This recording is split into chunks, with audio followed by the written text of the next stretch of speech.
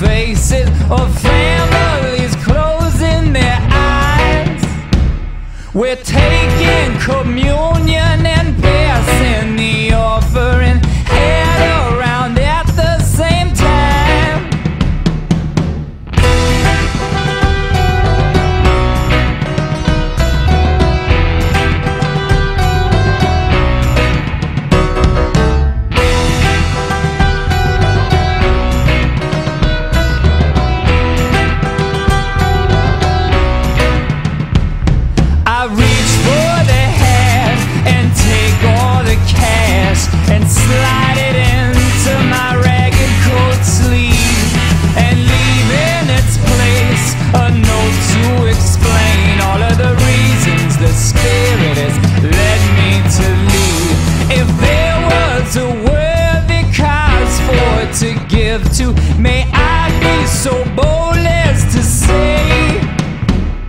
The giver's not knowing where their money's going.